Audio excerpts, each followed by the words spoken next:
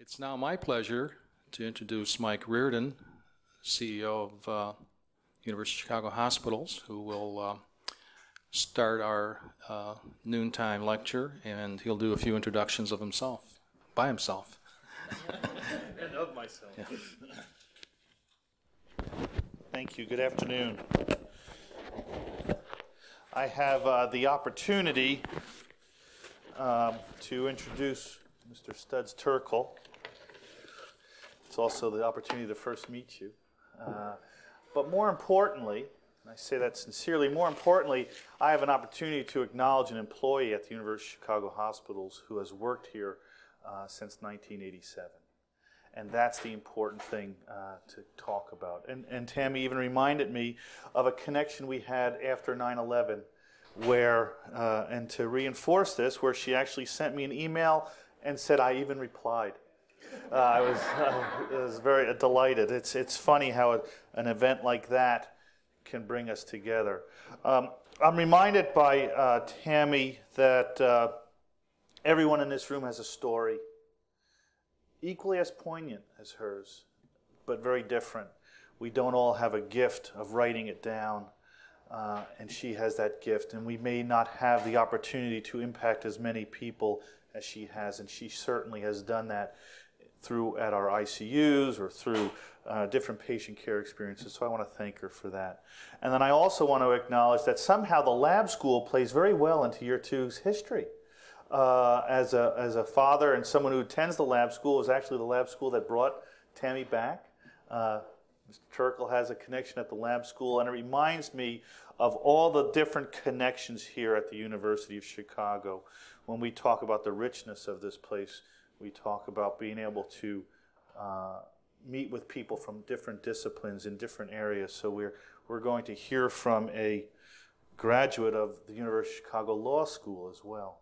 So there are many different and unique connections here. So with that, it's my certainly my honor to say thank you for many many years of uh, of working here at the University of Chicago Hospitals, and it's now my opportunity to introduce someone who is uh, uh, locally at uh, the lab school and beyond, well known, regionally well known, and nationally well known, uh, Studs Terkel, who uh, has had an opportunity through his life and through his writings to talk about his stories, and even most recently, the story about his wife and his connection and and uh, thoughts about life and about death and about all the things that are important. So with that, I would like to turn the podium over to uh, a University of Chicago alumni and, and wish him well in, in acknowledging a very great woman. Thank you.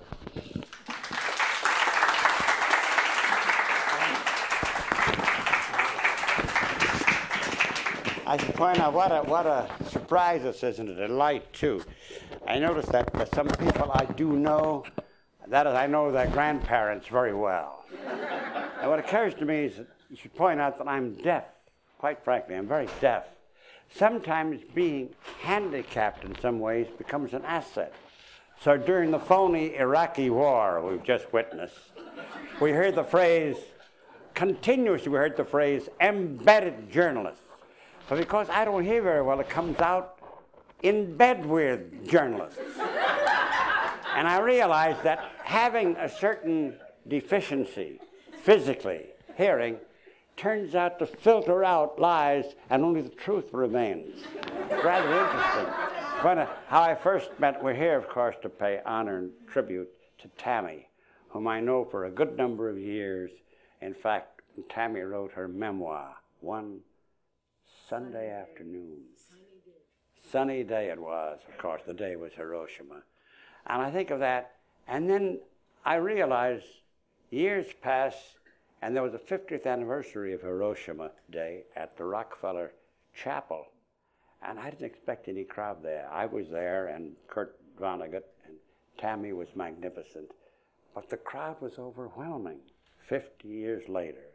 So there is something called a memory, despite the fact that we live in a time that I call suffering from a national Alzheimer's disease. I think, for example, our, our appointed chieftain believes in that very much indeed, that there is no yesterday. And so Tammy hears a voice. My wife was in the hospital here, and I'm in her room, and Tammy hears my voice. She said she recognized me from my voice, but what she didn't hear me say was, I was using profanity and everything under the because I had lost one of my hearing aids. I had this hearing aid. I couldn't find it. And Tammy, being Tammy, she was psychiatric social worker, so she knew she had a case with me. and so she looks around and says, Now, where was it? This is, I couldn't got a new one. This, this is quite valuable. Without it, I'm absolutely deaf. So I couldn't find this one hearing aid. And Tammy, knowing the kind of whatever it is I am, looked in the trash can, and there it was, about to be thrown out. So she has a certain insight, I think, into people. I think, though, I should point out, since you mentioned uh, the last book, Tammy has appeared in a couple of the books. She is the phrase we use today, she's a hero. We don't say heroine anymore. She's a hero of these books. But I think I should point out that in this last book, the one forthcoming, I have an interview. I went down to Columbus, Ohio, interviewed Brigadier General Paul Tibbets. Does that name ring a bell to you? Paul Tibbets was then a colonel, and Paul Tibbets was the pilot of the plane called the Enola Gay. Then, a certain Sunday morning, flew the Pacific, 1945, and they chose a certain city in Japan called Hiroshima, and that's where they dropped it, and that changed the world. So I'm interviewing him. We're two old gaffers. I'm 90. This is about, I was 89 at the time. He's about 87 at the time. We're sitting in Columbus, Ohio, in this old diner and restaurant. Great hamburger sandwiches and beer. And I say, do these people know who you are? No. Do they know that you played a role in changing the world? He says, no, they don't know that, but uh, I guess I did have something to do with it. I says, yeah, you did. Well, tell me something. Describe the moment. And he described the planning of it, working with Oppenheimer, the great scientist in Los Alamos, who told him, You must make us, when you drop that load. By the ship was called the Enola Gay, named after his mother. That was her name. And the nickname was Little Boy, because we're very whimsical about things. See, the Little Boy was the name of this bomb. Now, three days later, another one was dropped on Nagasaki and that was called Fat Man. See, we have a, we have a whimsical quality. So as he describes the scene, his tension, how are you going to do it? How are you going to make that turn? Because you don't make that turn when you drop it, your plane will be incinerated as well. So he describes it, it's very dramatic, and later on, he's meeting with President Truman, with all the generals, and he's being honored. And then I say to him, That sounds pretty exciting, but were you ever, what was, did a thought occur to you about what was happening down below? He's down below what? No, the people living there. Oh, well, yeah. Well, what was it? That tough luck? He said, well, that's tough luck. We had to end it. Uh, would you, would, would, would you do it? We had a lot of talk about nuking people. Would you do it again? Well, of course. Against whom? Against them. So suddenly I realized this is George W. talking. Instead of being kindred, as Thomas Paine had in mind, and as Tammy Snider has in mind, kindred to the world, which is what Tom Paine's book, we find them everywhere. And so we're on the edge of loneliness. At the same time, I'm convinced that deep, deep down, there are millions such as you here, all over the country, and might I add, all over the world, because February 15th told me that. Remember February 15th? That was the day of all those demonstrations. They were not accidental. So I think Tammy represents all the goodness in us. And she describes her childhood, that moment, seeking her mother, singing that song her mother used to sing. She's singing for all mankind and remembering. That's why she's so precious to have as a friend and a colleague and to wish her and Bob, of course, the very best indeed. And glad you're here. I'm glad you laughed at all my jokes, too. Thank you. So this is the thing.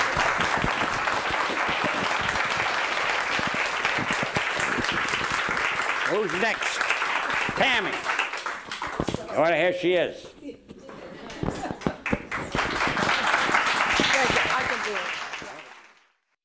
Thank you so much for being here. it, it is a gift to me, especially. I mean, I, I feel it. I, I'm so honored, and I almost don't have any adequate words to express the depth of my appreciation for this enormous honor of this event and the gift of your presence, not to mention very generous comments from Mr. Reardon and uh, everyone uh, I, I've spoken with today.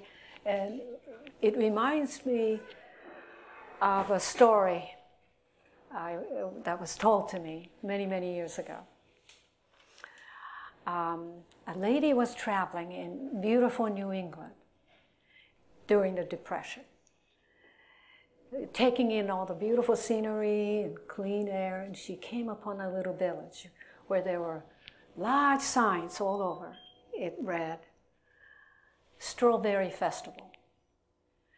Delighted, she followed the signs to the site of the festival, where there was a small sign which read, Due to the depression, prunes will be served.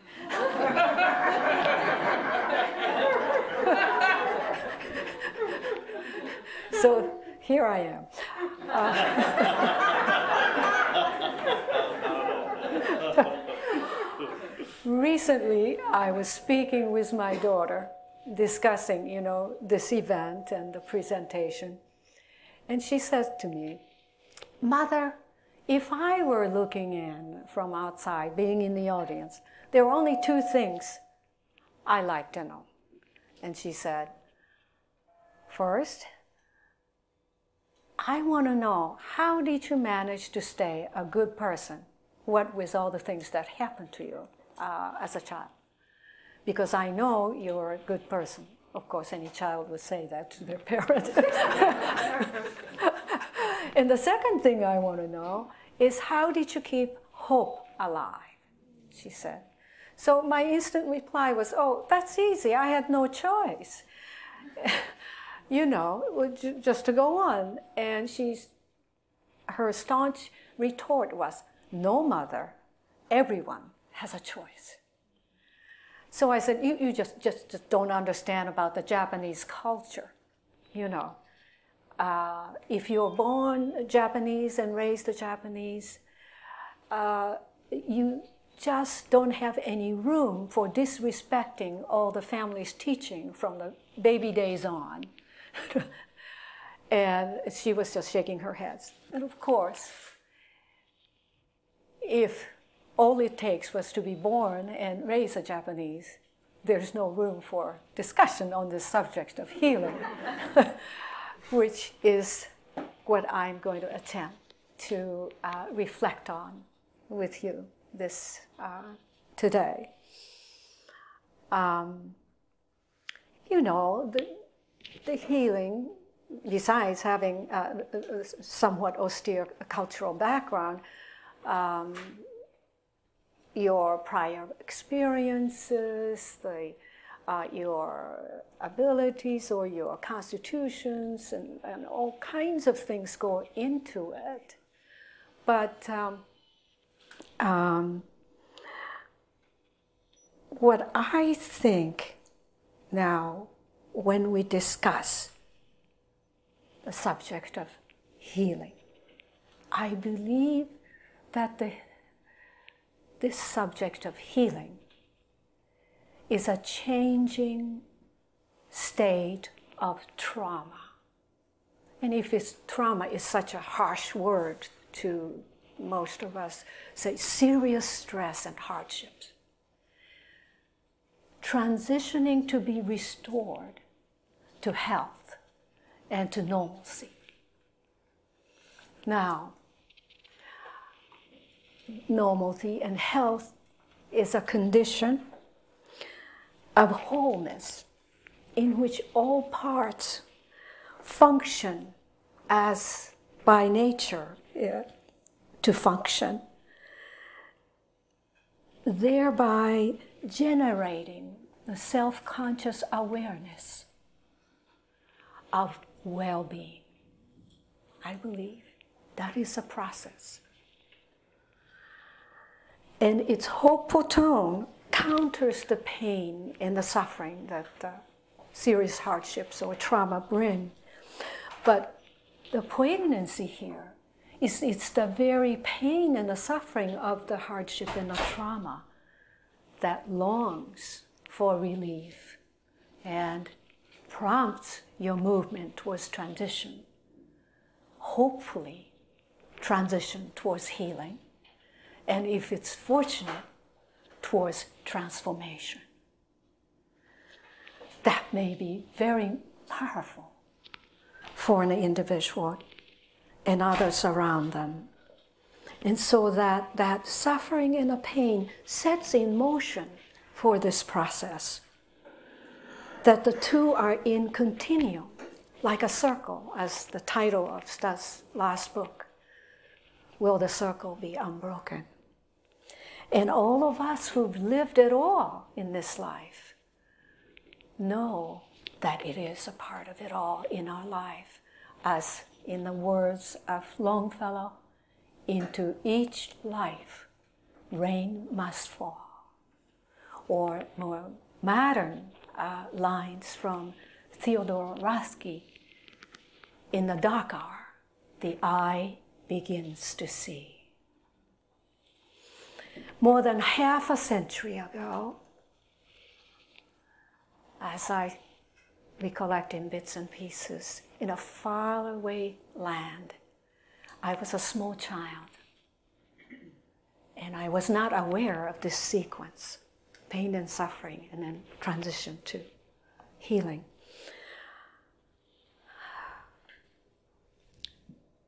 My, it sounds sort of ominous, but my life and my entire universe disappeared literally from in front of my eyes with a huge, unheard of bang and a force and gushing boulder with a hissing sound, gushing boulder of radiation engulfed in a pitch dark mushroom cloud. Unbeknownst to anybody in the world except us. And we didn't know what it was all about. And except perhaps the small group of scientists, politicians, leaders. Ah. We were engulfed in the inferno, in the destruction of the force that I don't know resembled nothing I ever experienced because the, the force inside the mushroom was so strong. Forced people's eyeballs to pop out and stomach to be pop out skins with radiations melted away so that the people walked like they were carrying rags, except it was their skin. And hobbled, and some of us were pinned down, and I was pinned down under the debris of a beautiful, beautiful home that was built by my uh, ancestors with huge, beautiful gardens with lovely trees, flowers, bushes um, without realizing what it was all about. And it went shaking and breaking and everything coming down, and I was pinned down on seemed eternity that it seemed the end of life had come. I was in sixth grade, uh, had no concept really of war, I guess. So, in this city, the humans were incinerated, torn apart, and staggered if we could out of the street to outside the very sad part of my memory is that even the people who were incinerated on the outside and then the, the veins were showing, so nobody could take a pulse kind of situation, uh, they stayed alive. You know, the burned people, they stayed alive for a long, long time. They stayed alive for hours. They stayed alive for days, weeks, sometimes for years, and then for some, a lifetime of pain and suffering. Um, and you who are here concerned with saving lives and restoring to wholeness, healing, would have different feelings, I'm sure, than the man who dropped it.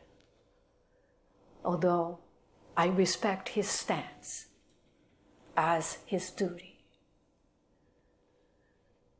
Here, in this kind of abyss where we lost everything and we you know in 9-11 it was horrific and it affected me so much that i to the extent that i uh, wrote to uh, uh president Reardon, um, surrounding healthcare systems too. You know there were people who could really help out. When the city gets wiped out when the, the, there are no paramedics, there are not medical supplies, and there's certainly no one debriefing anybody. We were in stupor. And, and we somehow try to seek safety, somehow try to have food and shelter.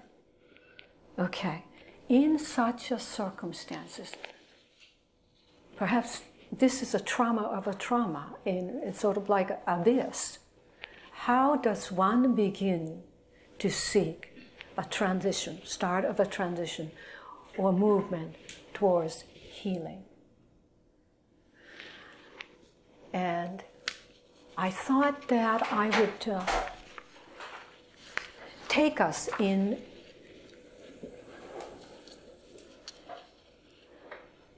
looking at this question by, on one hand, bringing some descriptions of the trauma going on or hardships going on, and in those areas, what were so hard, but what were so very important to me personally that might help bring out some semblance of how you know, when President Reardon spoke of this experience Tammy had, uh, other than being in Hiroshima, of, of a healing or participating in restoring the wholeness of individual physical and, and, and psychosocial, as social workers get engaged in, is a universal experience. So I like you to sort of like take a look at it as a universal uh, kind of process that could be because we're talking about what it is is the nature of human being. What do we require? What are the conditions that must be there as we can participate even to look towards the parts coming together again and functioning as the nature intended for us? Okay. Now the people not just the people who survived this bomb but the people who did not uh, actually uh, were not bombed It became also a larger uh, population of casualty because uh, in a, as soon as the fire subsided, you know, the whole town burned down. Uh, I think the 3,000 meters around were total destruction and total uh, the, the lost. They were all burned down, and the uh, you know the town spread uh, in different directions. Uh, some were broken but spared from the fire. Um, they came in, of course, as soon as the fire subsided, looking for their kins. You know, the children went to school and never came back, and, and people went to work and never came back. So they breathed the air and they, they stayed, you know, wandering around the whole town and then being exposed to the, the site of destruction. It was extremely difficult. for all of us. Um, and and I, I will say this, and and I like you to know that this is the reality of war, a nuking war. Um, you know, especially because this was the end of the war and we were just simply war worn without supplies, um, you know, not very much to eat and uh, not very much clothing to, you know, if, if you wore out of clothes, uh, you know, you had to really remake something you owned before uh, because there were no new supplies. The, the able-bodied men were taken to the front, and, and the labor force was really very limited, and there were no real the abundant supplies of any kind.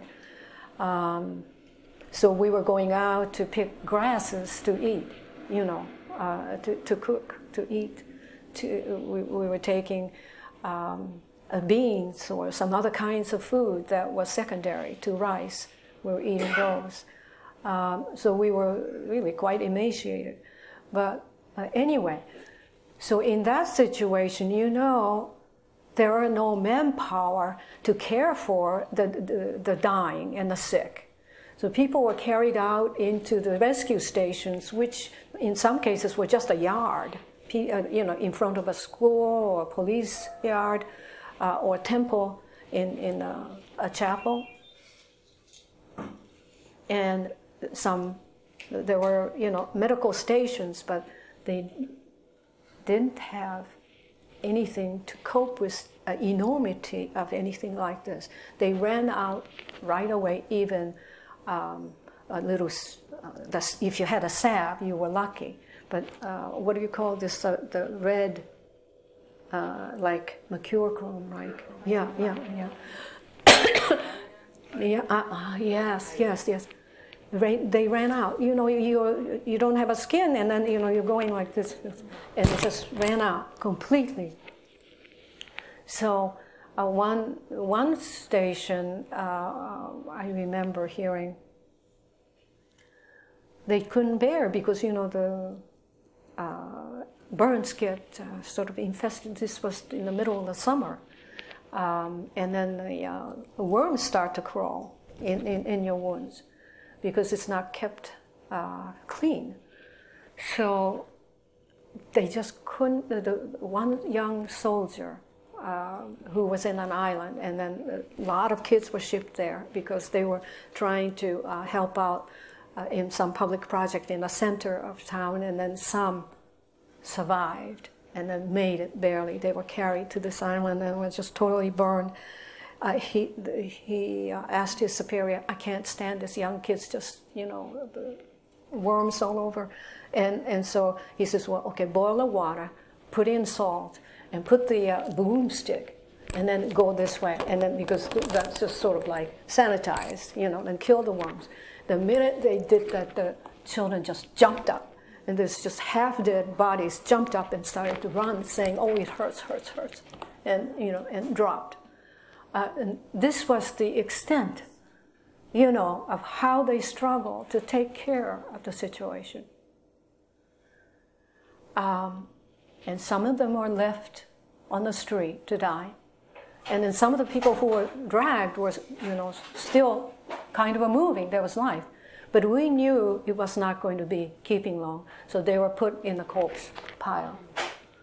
Um, so you know, not just survivors, but the others who participated in all of this scene, they were very deeply traumatized. And there were no real A's. Nobody could understand how it happened, what this was all about, and how it was going to be cured or healed. And there was no help. You have no idea how harsh that was. There's no help and no supplies. It wasn't anybody's fault, but it was just not possible to respect, accept, to cremate, and, you know, wish well. Okay. So, what was important to me that I could do? And this I must say, I think, as a universal human being, to stand here to share with you, is that your body sometimes may be pushed to the point it's no longer can really do what it likes to do, but your mind sometimes has something left to back you up. And some of us here, from the religious sector, will probably say confidently, and the Spirit has power beyond. But um, I'm not going to get into that one. now, let me just kind of give some examples of how some of these things that were important to me came through. And it was even from the very seconds after the de- destructive power of the bomb. The bomb was exploding, and I was in the middle of it, 1.1 mile away from the center, and in the pitch dark. And I was a sixth grade child but something in my mind said to me, so this is dying in the war. And it was sort of like instantaneously, there was a something of a calm that came over me when I said that. As if for just a mere, mere second, my mind had a mastery of something. And it's very important for human being to, you know, try to understand your relationship of your being to your surrounding and your reality. And, and of course, you know, getting hit with all kinds of objects and being thrown down, uh, I was busy sort of, you know, trying to uh, just sustain my life at that point. But I remember thinking that, and so I'm going to die now. And it, it was a sort of a calm feeling, even as a child, I remember, that came over me. And next thing that um, uh, I discovered that uh, was a very surprising uh, uh um, something of tranquility was after you know I sought help and, and, and some truck came by at the outskirt of the city and I jumped in. I, I was injured, so it wasn't kind of easy to just jump in and move. But uh, I was on a truck, and then they carried me miles away from the city and, and, and a hospital and dumped me there and says, you know, do whatever you want. And, it, you know, nowhere. I've never seen this place before. Um, and I was just following, you know, that's another thing I think that was very sustaining is our relationship in the reference points in coming out, I don't think I would have made it out the burning city if my mother hadn't taught me and given me instructions what to do. You know, like I think I might have even laid there, uh, helpless. The, uh, her words were, "Don't stay under the rubble. Get out from under the rubble if the house gets hit by a direct bomb. Get from under and then get away because the, you know, in those days, the, those were fire bombs that we were having. We never heard of any nuclear bomb. So fire bombs will set your house in fire right away. Says if you stay, you'll be incinerated. You have to get away. And then she said, go to the river. And we had like seven, eight rivers in Hiroshima. You know, it was called the uh, Venice of the Orient. So it was easy to find river. And then, you know, and then she said, escape along the river. And, and also, um, if there's nobody else to go and you were the only one, there is a name of the village I can give you that you're supposed to go seek refuge. Of course, I never thought anything like that would be necessary, so I, I just barely knew the name of the village, much less how to get there or where it was. But from this hospital, I was supposed to find the village, and nobody helped me where it was or anything. It, it, everybody's too busy. You know, they, they were in dire straits, and they could not help anybody else. Although I think there were lots of people who were very kind and helped each other in different situations, but in that circumstance, I didn't get any help. So I was, I was sort of, you know, I don't know what to do, but okay, I'm, I'm, i have two legs, I'm going to start walking. And, the, you know, that away, sort of like, I started to walk and I couldn't go any further and just collapsed and sat down. And I said, This is it. I can't go anymore. That's, that's the end of the road. You know, if I just die here, it will have to be. And then I just happened to look up to the sky. And there it was no more mushroom cloud. The cloud was blue, clear, and cotton clouds, so beautiful. And in that shifting moment of looking there, brought back the memory of the pleasures of being connected, peaceful, and safe, and happy, and nurtured. You know? In that sense, transformed something of the message from my head to my muscles. And my head said, Child, your legs are the only ones that can carry you out to this village. You must get up and walk. You know, it may be very, a little bit different from those of you who study uh, philosophy and then, you know, experience of Rousseau uh, floating in a lake in Geneva and looking up to the sky and then found the pleasurable sensation of being human and then looking into the sky. But there's something to that.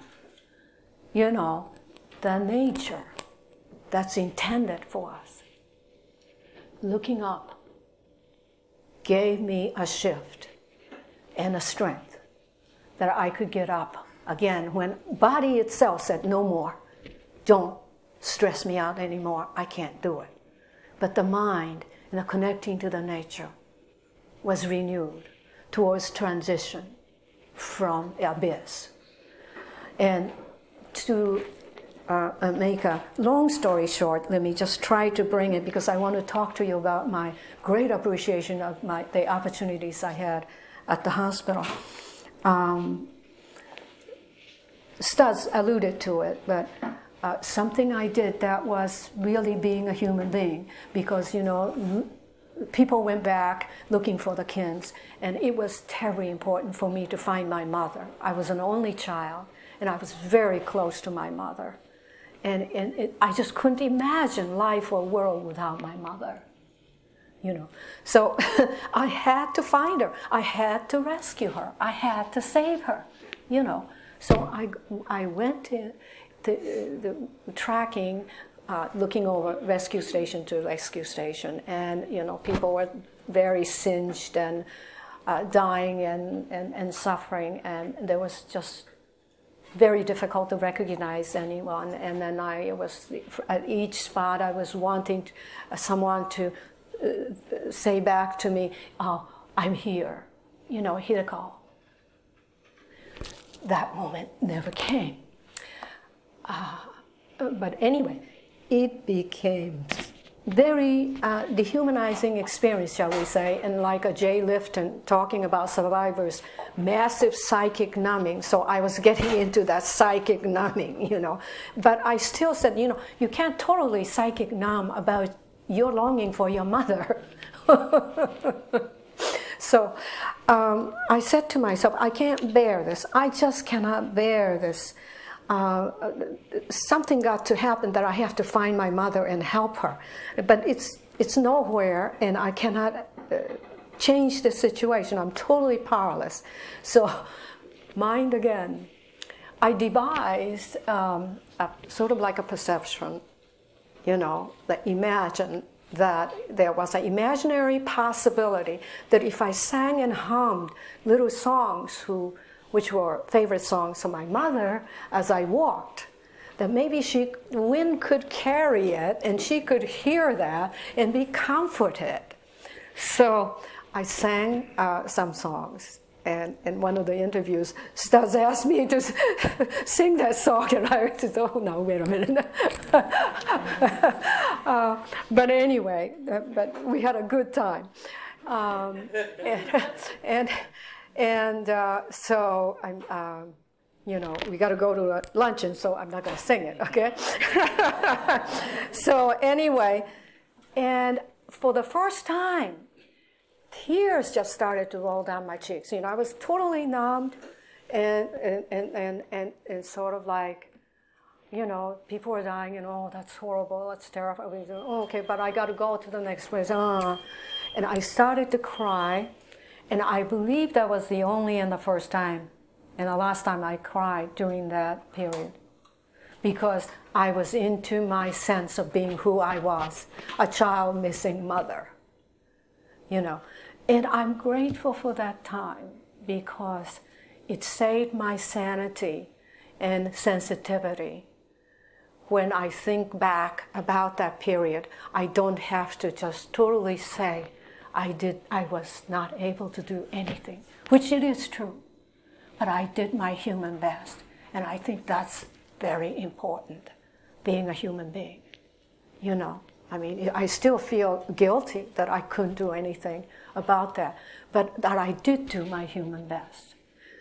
Okay, now um, let's make this as condensed as possible. In the ensuing years, I became a very serious youth. I was asking questions like, what is, what is the truth in life about human race? What is the meaning, meaning of our existence? I read and read and read, and I sought guidance from teachers and ministers and so forth. I'm afraid a lot of it was in vain because there was not an answer that I could really authentically, continually feel this was why everything was taken away. And this was why everybody important to me died. Um, I think that's a human experience of trauma that grips you in such a way that it takes a great deal of transition and perhaps some of it will never be transformed.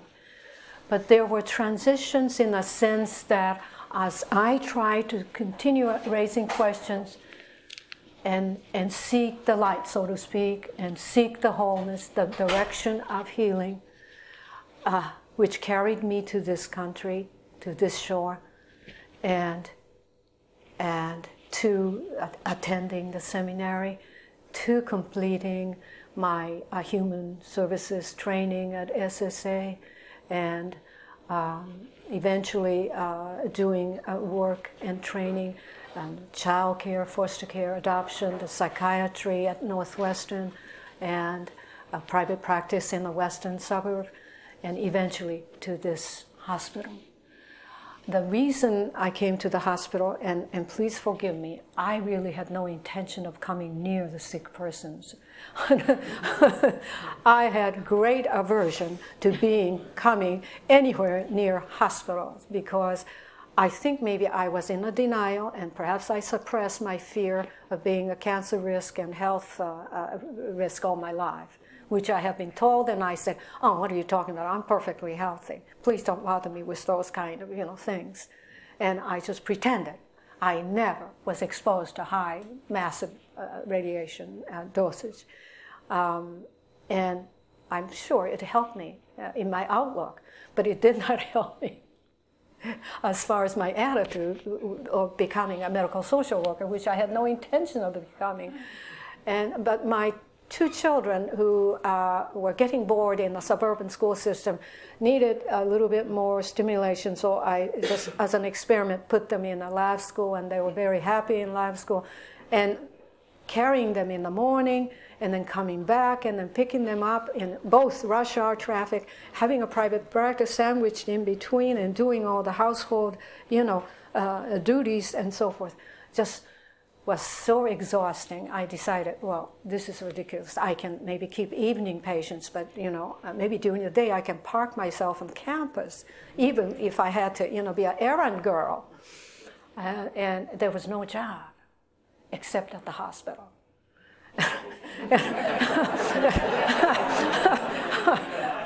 and I, I, I tried very hard, calling all graduate schools in different places, and I almost got a job down, uh, you know, the, the, the, uh, administration building. But uh, it didn't quite work out. And then so I saw this posting uh, from uh, Marshall Cologne, a part-time job, and I thought, oh, heaven sent, I think I'll go. And then I interviewed for the job, and then they hired me. What they didn't know was being in private practice, patients always came to me, you know, and all I had to do was put my brains and my mind and everything just where I was and focus in trying to assist this person with the problem. Well, here in the hospital, you had to go to the patient, you know, and TN2 so and so, what is that? I had no idea how to get and find anybody. now, how in the world are you going to serve a person if you can't find them?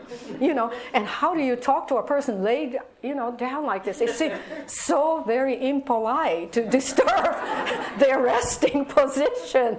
I said, you, do you knock on the door and say, "May I please come in and may I please know your problems?" I, I, it was very much of an adjustment for me. And finally, I figured out there was a tower and then there was this go away whatnot. And here was, and you know, so I was really adjusting, and it was very difficult, to say the least. But you know, I, I, I was, you know, because I, I have been trained as a therapist, I, I really, you know, was becoming interested in the work and transplant, the first uh, assignment, this was really the breakthrough. The very first, uh, well, I don't want to call a person a case, but a case that I was given uh, was someone who was just uh, had a liver transplant. And I was told to go and see or encourage this person in the intensive care. And if you know that I didn't go near hospital and near hospital rooms, you know I've never been to uh, inside of any intensive care if I could help it. So I, you know, I was told to gown up, you know, this uh, great big huge things that's meant for tall you know, American people. I'm, I'm drowning in this garb, totally safe and disinfected. Nothing of me was showing. so, I, you know, with great trepidation, I opened the door and went in, and there was this lady hooked up to everything imaginable for life support, you know, and of course she couldn't talk. And and I had, you know, no prior knowledge or idea how I should proceed in this circumstance. But the what, just like a lightning that hit me. And I was so awed, was here was a person who's kept alive and being given a new chance for life. In every humanly possible way. That which I had long to see 15 long many more years ago that I did, was not, we were not given. And I thought to myself, oh my God, this can be possible if you are willing to put the brains, the intellect, the so- sources, and the resources. This is possible. And I felt so floored with joy that I lived long enough to see that this can be possible today. you know, that I could see that we did not have. What a blessing. And then there I was so encouraged and strengthened by that thought. I could go up to the person, lay my hand on her hand, and then tell her that we were all by her, standing by, and with joy supporting her new life, and for her not to fear. New life awaits. And it was such a pleasure to be a part of that. And from that day on, I was able to see the mission of this hospital as my own and feel it as my own. Now, the second was a buddy of mine was retiring early who had a gyneonc, a cancer service, and said, Tammy, you know, it's a half time. Why don't you, you know, become a full time and take this on since you are, you know, green surgery and uh, transplant half time? Don't you want to do that? Cancer, I said. Are you kidding? You know, I've been afraid of cancer all these years. How can I go near? And she says, Oh no, these are great ladies. You ought to meet some of them you know, and then she was so enthusiastic. So I said, well, you know, it's ridiculous for grown women to be afraid of cancer. You know, I'm in the hospital. So, again, making a long story short, I became also a gynae social worker, and she was right. The vicissitudes that these women are going through and taking and managing and living with it with great courage as if it's just one of life things, you know, instead of sitting and saying, oh my God, you know, I just can't do this. Nobody was like that. You know, Dr. Herbst, Dr. Rutledge, I'm sure, gave them or helped them have develop that confidence. Uh, that's how many years ago I was with the gyneonc. But um, and the, you know, like you would encounter a young person with young children, and verbalizing how very much they wish that they could see the children graduate from high school or daughter being married. And yet it's not possible. They knew their life was limited. And, and yet they were fighting with all that they could. And you know, it gave me courage. My fear of cancer went out the window you know, I, I was very, very blessed, is the only word I can say, that I was able to encounter. And from there on, the, my patients were my teachers. They taught me as I listened. They taught me every neat, different types of experiences one can become a part of. And then I could become the part of their life and offer assistance or comfort or new ways of resource, which was just amazing. You know, I think the social work so often are so pressed with time having to, you know, come up with solutions for which the resources don't exist and that sort of things. We, we become sometimes even psychic numbed.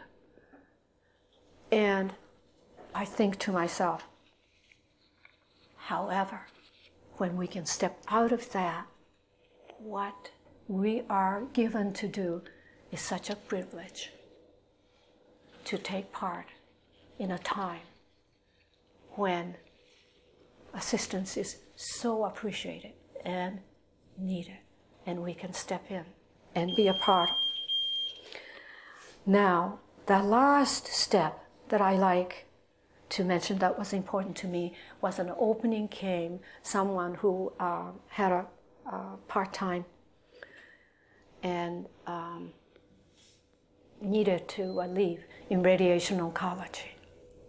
And because of the experience in cancer, I became very curious what that might be if I asked to be in that position because that was the last thing. If anybody had asked me a time before, would you be interested in being in radiation oncology? I would have said the same thing.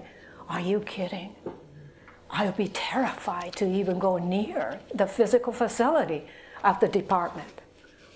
And then so uh, this person said, You know, I know Dr. Sutton in the uh, department, and he's a very congenial fellow. Why don't you go down and say hello to him? and he, he would just kind of make you feel comfortable there. I said, No, I don't know. Dr. Sutton, or what's he like? Oh, he's an old fellow with gray hair. And it's very easy to talk to. And, you know, uh, so she dragged me you know, this lady. She just dragged me down. At that time, it was down in a basement, and you get even scared before you even got there because, you know, the small elevator was, it was really small. And a lot of patients who are claustrophobic had a terrible time because I don't think there was a stairway besides to go. But anyway, uh, and it, it, uh, uh, it, it broke quite often and you get stuck in it. And you can't get out you know and then finally you get to the bottom and then it opens to this dark sort of a drabby looking corridor and then go into the you know. Uh, so it, it, was not the most cheerful greeting that i had physically but um, dr sutton indeed was a very kind and, and relaxed guy at least to me and, and said that he would be very delighted that if I could, you know, fill this opening. It had been left open and, and no one wanted to go for I think three or four months or some, some time. And so they really needed a social worker coverage there. So, and then I remember walking into some of the, uh, you know, treatment rooms where this huge, you know, machineries were. And it, it, it was just very scary to me, you know. And so I could understand why anybody who had been diagnosed by cancer walking in said, I'm not going in there. You know, you're not going to leave me alone. Some people said, you know, well, you have to close the door and you have to be alone. And I did work with a number of people who had that phobia, so they could go in alone and, and the door could be closed and be treated. But I, I could sympathize how people could be so, you know, uh, anxious with that big ominous things coming at you, and, and then what's coming out can be lethal. uh, and I know that it was lethal when you know it's uh, uh, unleashed uh, in a destructive way. So that was my um, auspicious beginning in radiation oncology, and I had to learn from you know A to Z how uh, to uh, be assisting. Mm-hmm. Thank you. Uh, and it, it was the same story. I learned from each and every person that I met the state of human nature and human being and, and our potentials. How, you know, in health we could thrive, but in these conditions that we were thwarted. And to be a part of that and to be seriously consulted with their probing mind, the fear of death and fear of radiation, all of these was indeed a privilege for me. I really was grateful for all the contacts that I had. It enriched me as a human being, and not to mention uh, scope of my uh, work experiences, uh, the depths of it, and, and expanded. I'm so very grateful. And here, as I reflect back to the years that I have been here, uh, that which that I did not think that I would even come close to, now it turns out has been a great honor and privilege, and was a precious opportunity for me for my own personal growth, not only transition from my trauma of Hiroshima, but moving the, with the use of our intellect and our direction and the mechanism of our resources put together to serve so that human beings can have that self conscious awareness of well being. As I say, with the social worker's work, even during the time of illness itself, feeling that wholeness is possible. I cannot thank you enough for all those of you who are here who work in the hospital that this has been a most learning period for me. And I commend your continuing work of life saving, life extending, and life improving back to normal, normalcy and wholeness. It's a most fabulous profession and fabulous place. And those of you who are not hospital staff, but given me your sensitivity, granted me your respect, and accepted my input as valuable, I thank you for your presence in my life. And I can honestly and truly say today, life spared so long ago was given a priceless meaning because of all of you.